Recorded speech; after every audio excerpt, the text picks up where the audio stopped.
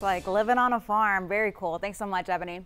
Tonight, Lamar University alumni are making a big splash decades after they graduated. Works from about a dozen former art students are on display now at the Beaumont Art League. The exhibit is called Mike Cacioppo and Lamar Legends. The nonprofit first asked Cacioppo to create an exhibit filled with his work. Well, he said he wanted this to be a community uh, piece. So he invited 12 of his former classmates and five former professors from the school's art department. They all attended Lamar back in the 70s.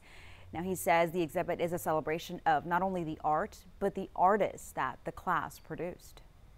It was just a wonderful time period, and we had just fantastic professors who were included in this show who made it even more wonderful, and everyone was just everyone helped each other and we, we kind of thrived off of each other. A neat collaboration. The exhibition will be on display Wednesday through Saturdays through January 31st.